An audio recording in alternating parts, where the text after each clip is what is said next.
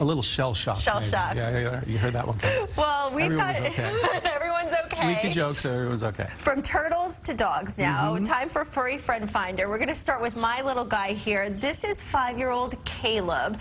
Cable, Caleb is a border terrier, and he came to the Humane Society because his family was not taking proper care of him. So he had to have some surgery when he came in, but he is all healed up now, and he really needs a caring, wonderful home, a family that's going to really love him. He loves to go on walks. He's very calm. Look at that little face.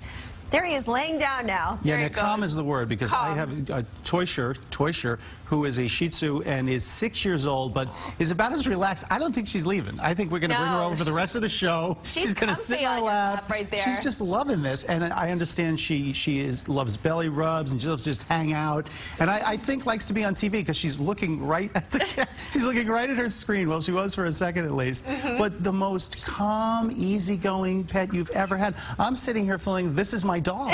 I mean, really. Although my dog would be freaking out because she could never sit here this calmly. But if you want a beautiful dog, and I'm getting even more mellow just sitting here, Andrea. I know. I, don't, I didn't and- know that was and possible. Caleb is hiding I'm getting under, more mellow. Caleb is hiding under my chair right here. There he is. If you want to make either of these dogs part of your family, you could find out Yeah. more information on the Furry Friend Finder section on the Best of New York section at cbsnewyork.com. We'll be right back.